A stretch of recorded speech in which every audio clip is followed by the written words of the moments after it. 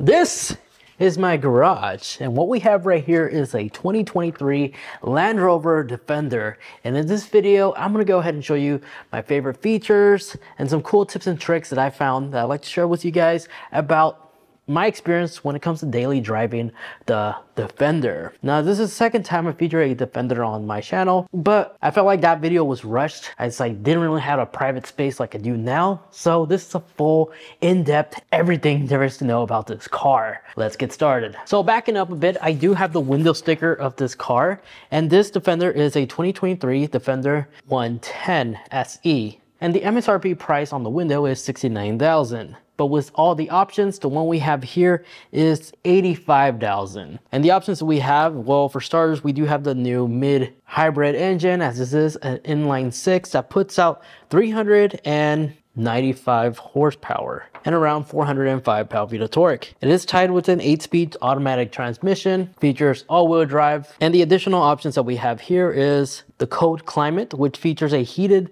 windshield, heated washer jets, heated steering wheel, and headlight power washer, which I'll talk more about those in a little bit. We have the advanced off-road package, as well as the off-road package, the family package, which offers a three dual climate control, air suspension, so it's fairly loaded for this price. And for those headlight washer jets, here they are located right here. I'll go ahead and demonstrate how those look like.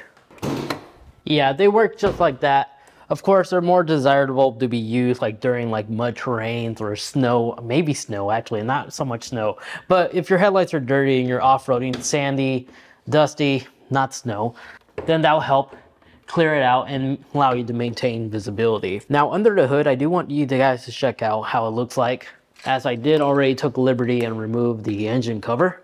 And this is how that mild hybrid inline six looks like. Airbox runs over here, goes through there. And the throttle body, it's actually located down here. It seems like very traditional British, Germany, European type of cars. And then the battery is located somewhere else inside the vehicle because the terminals are exposed right here, but no car battery.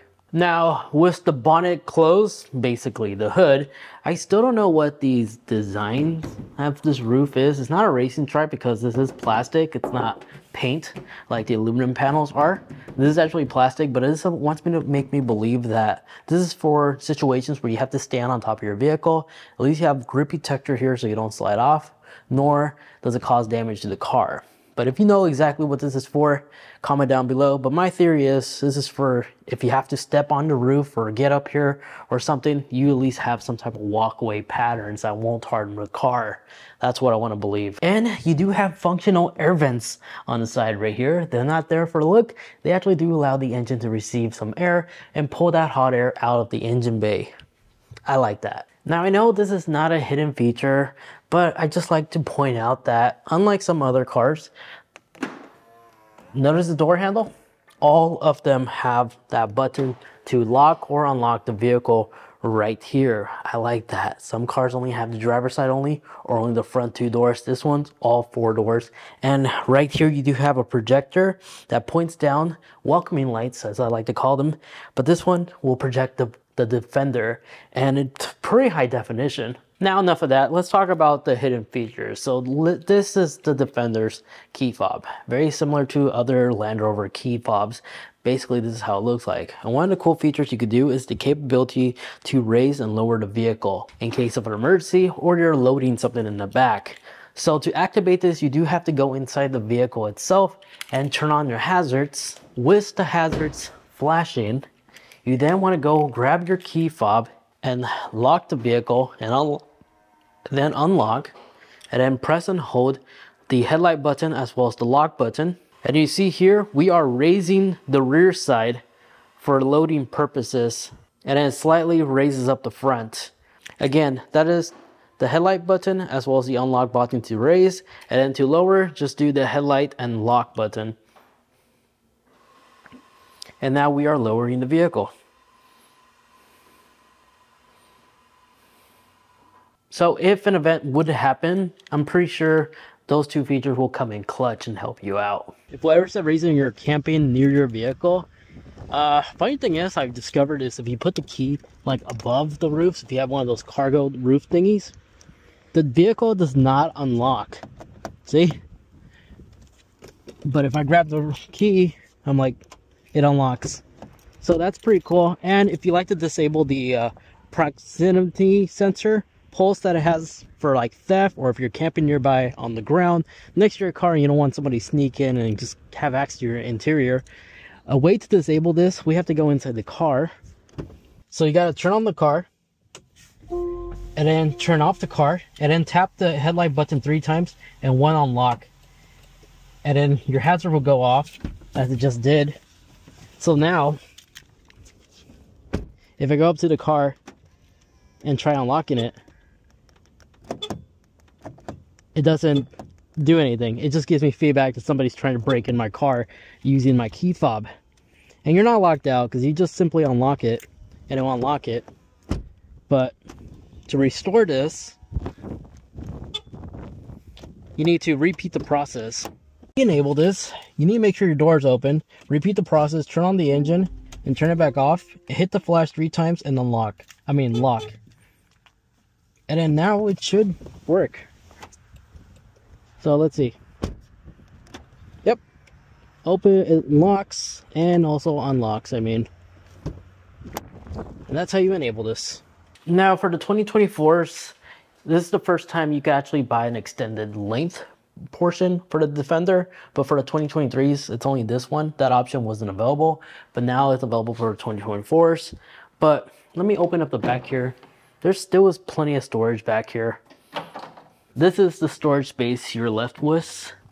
A lot of door opening space, perfect for a Costco hauls.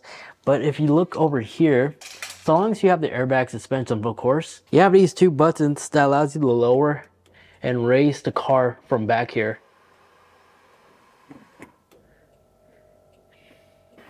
And yes, you can increase it.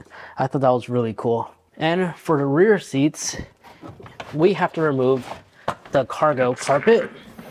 Now with the seats photo, you do have a little bit more storage space as well. This is where you'll see your floor jack and that's about it you have a household outlet over here which is quite nice. And you have another 12 there as well. Lights hooks right here for your grocery bags. And if you don't get the third row option there's a loading zone climate control knob right here. The previous defender i featured had that for your dogs and so we'll have ventilated vents back there but this one does not have that. So just keep that in mind. Without the third row, you do have like a dog vent back here. And I gotta say, this car is easy to travel your pets with because it's boxy over here. It's basically like a kennel already for them.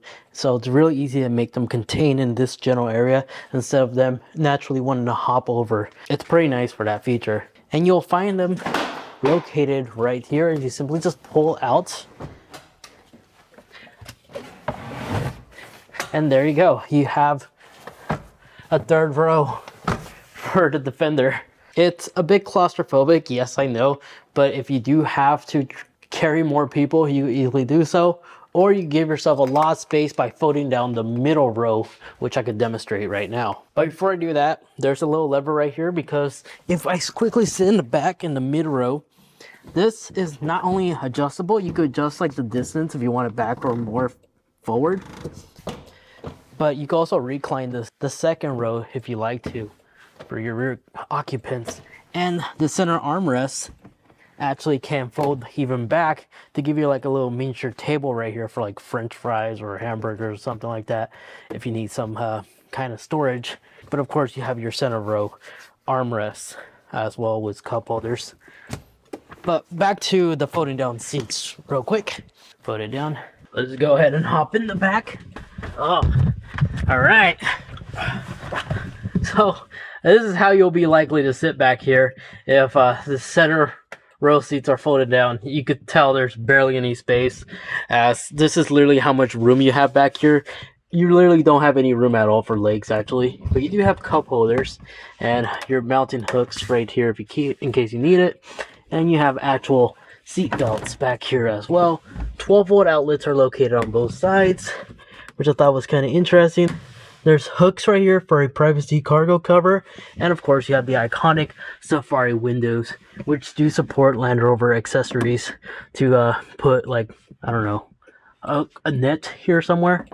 And then you got speaker openings here. A little big moonroof, which which if you get the extended cab, you have another moonroof over here. But uh yeah, uh I am 5'8 and I have plenty of headspace, don't get me wrong. But legroom, non-existence.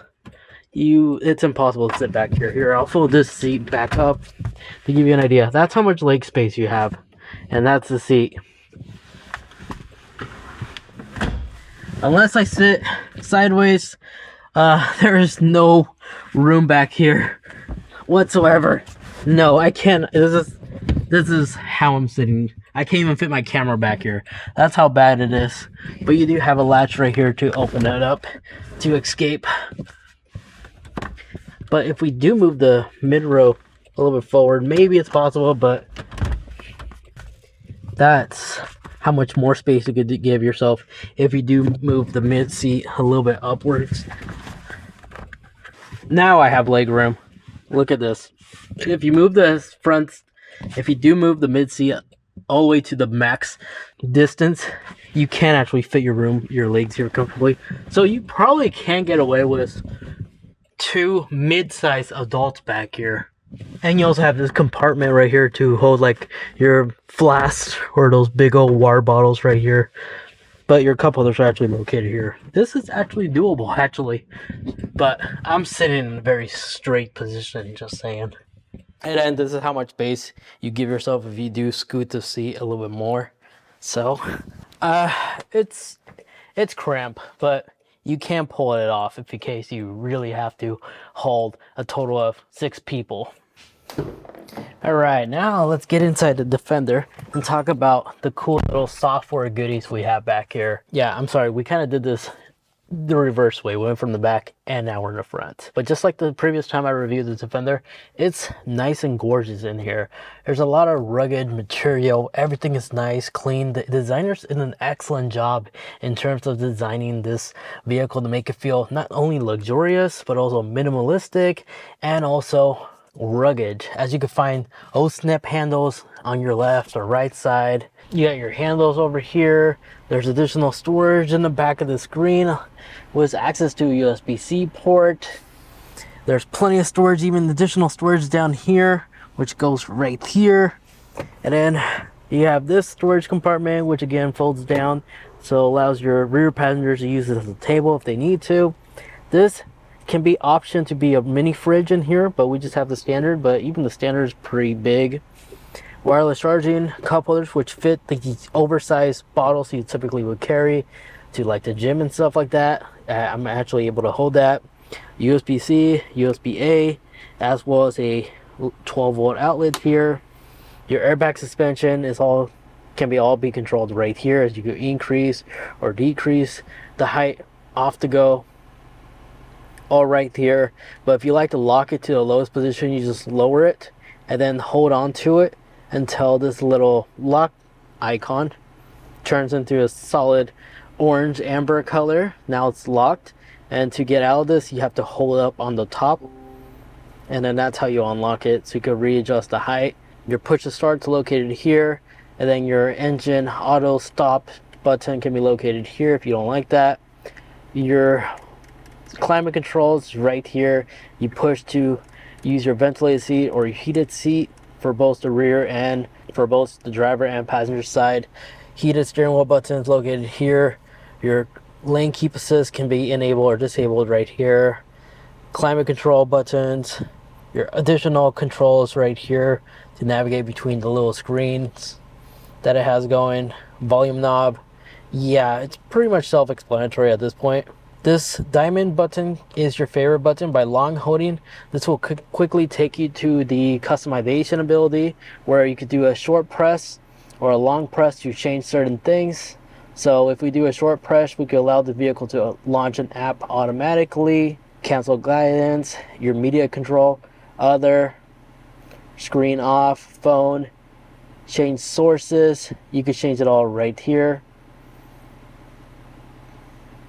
So if I want the shortcut button to launch my cameras, that's how you do it. So a single tap will do that. a long press, I could change it so it quickly takes me to mute. So by doing that, if I short press, it will automatically show me my 360 camera and a long hold will mute the audio that I'm listening to.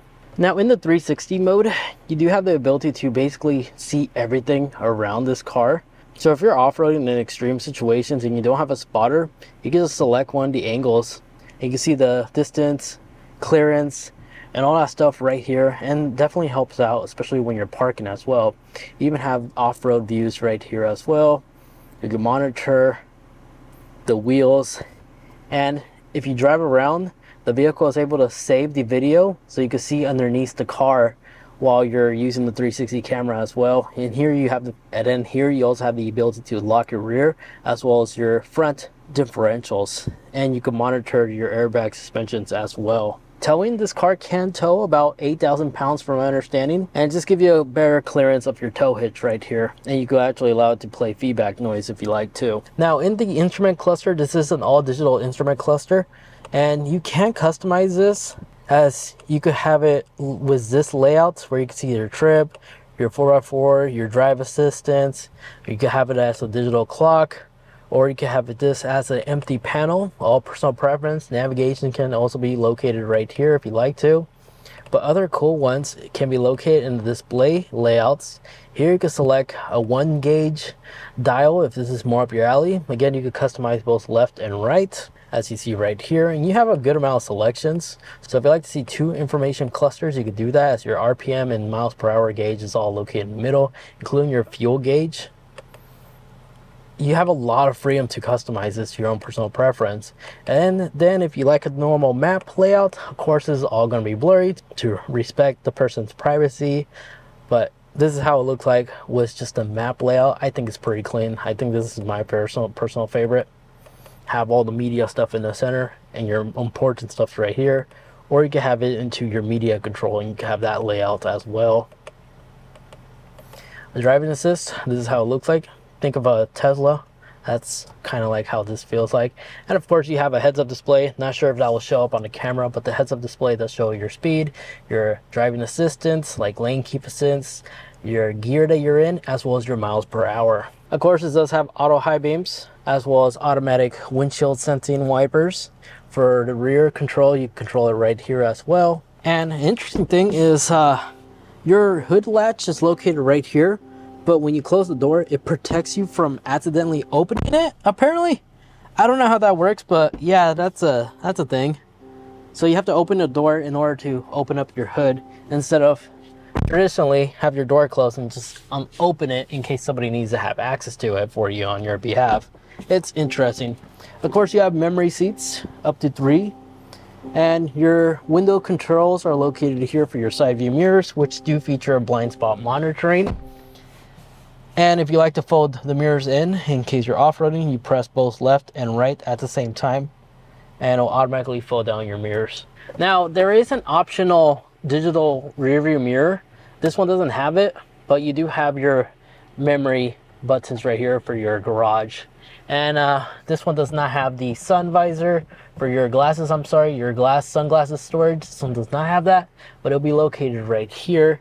But you can find your motion sensor for your security located here, as well as your uh, sun visor or moonroof settings right here. And you can open it fully if you really want to. It's massive too.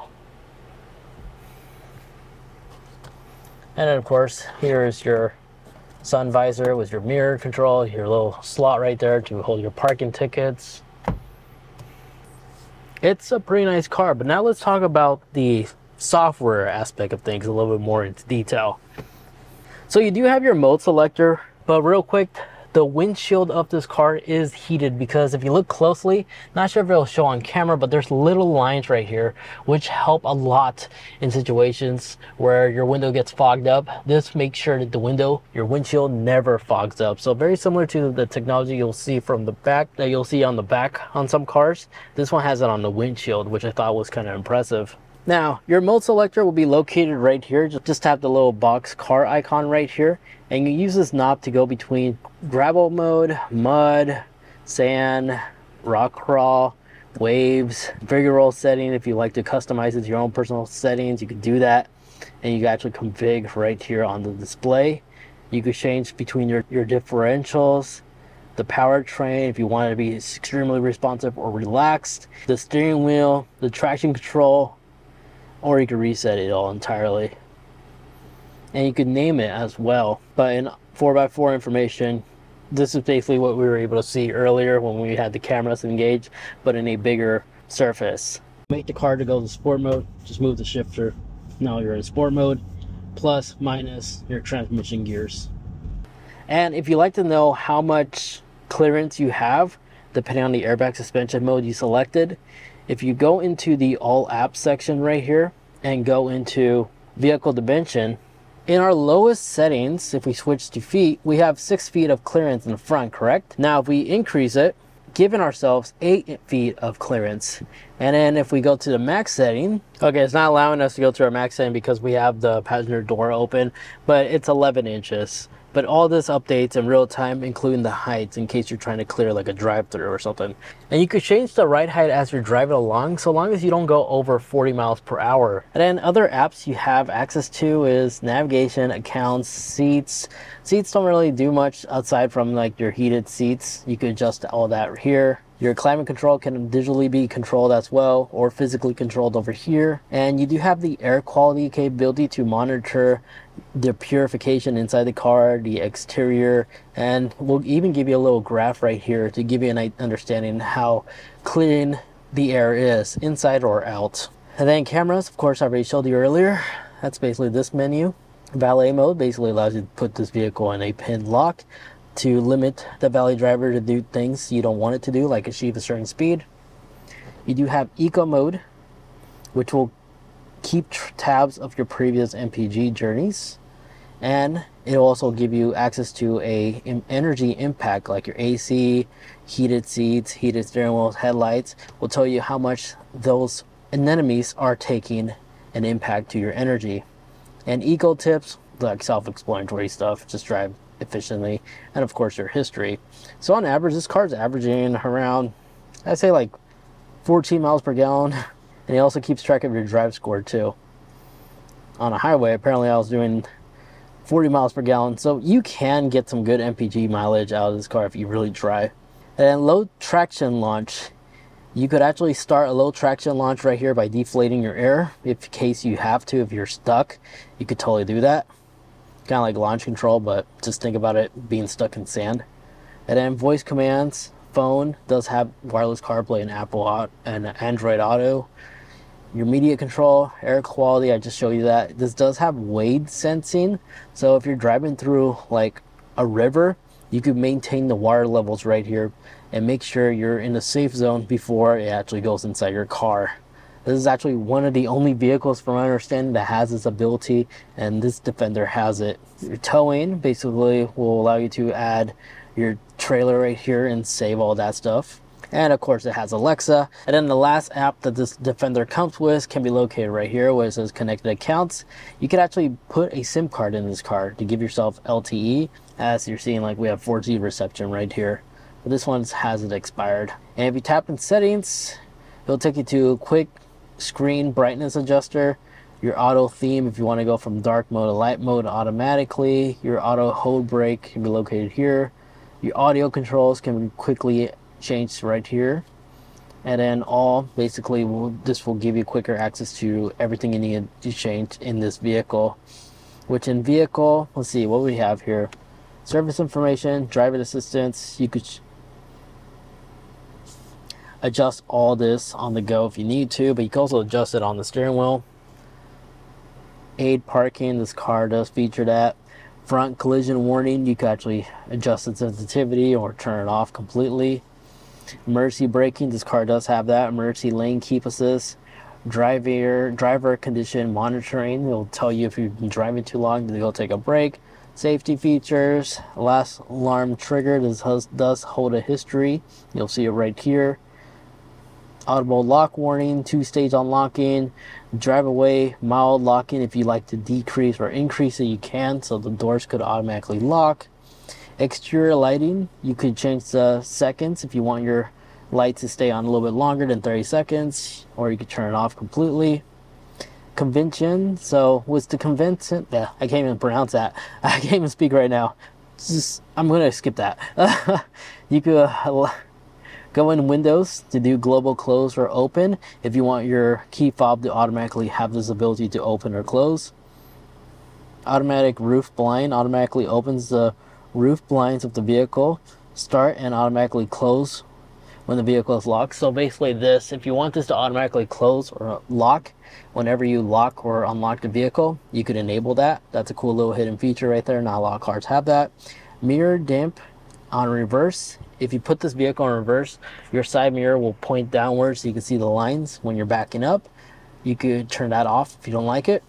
Vehicle access, automatically access hike. So you could let this vehicle automatically lower to the lower right height to assist you in making going in and out of the vehicle automatically instead of manually having to do it right here your rain sensing wipers you could enable or disable that in the wiper section winter wiper pack wipers will use a higher parking position so if you're in the snow you can enable this and your wipers will be in a higher position so it doesn't get frozen in with all the snow i love that has that ability and units, of course, if you're in Canada, you'll switch to kilometers per hour, but we are here in the States. Miles per hour is what we use. Same goes for PSI, as well as climate temperature.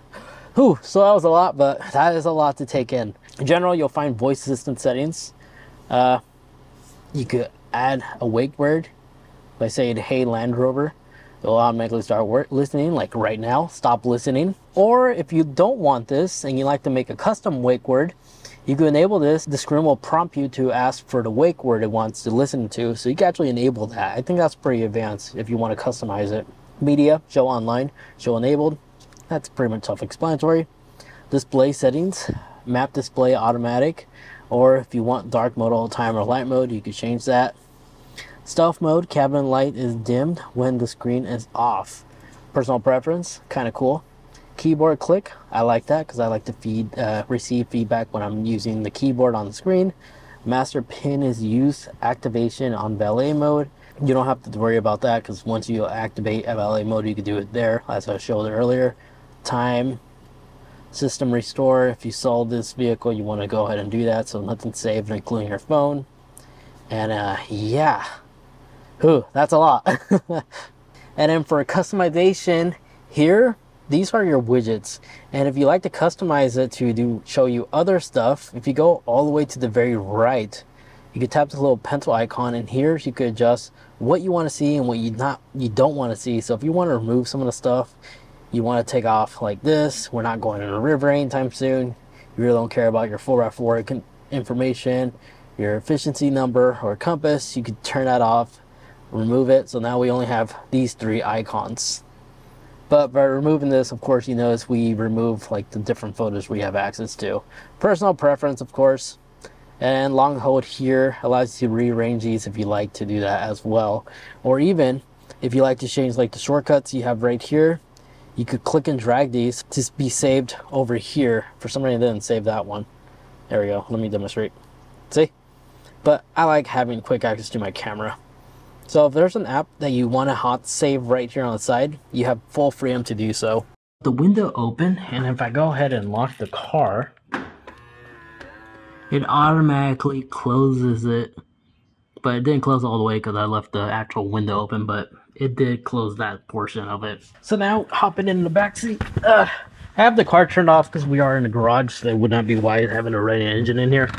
But backing this all the way back, Again, plenty of leg space in a full back position. I have a lot of head space. And here you could support, has support for accessories if you want to mount like an iPad or a coat hanger. Land Rover sells accessories on their website, which you attach right here. Cubbies, uh, USB-C ports, or USB-A ports, two USB-A ports, a blank here for some reason, and another blank. Not sure why, but you'll find your HVAC controls right here as well as the positions and uh, air vents. Yeah, pretty standard, basic back here. And that is the 2023 Defender in a nutshell. Now, something I almost forgot to mention is the 2024s. Uh, massive improvement on the 2024s from the 2023s to my knowledge. Again, it's the optional extended back, but the main benefit difference between the two is the larger center console entertainment screen. It's slightly bigger than this one. That's about it though. Drivetrain wise and everything else is pretty much the same. Anyways, that's basically everything there is to know about the Defender and its cool features and some cool tips and tricks I wanted to share with you guys. So if this video was informative and useful, leave a like as that is a great way to train the YouTube algorithm on your side to continue recommending videos that you like. And if you really did like my video, make sure to also subscribe for more car content as I do plan on upload, uploading a bunch of in-depth videos just like this every Wednesday. So if you enjoy these videos, make sure you are subscribed and feel free to comment down below requests you want me to get my hands on. Could be new or old. Anyways, thanks so much for watching. Take care and I'll catch you in the next one.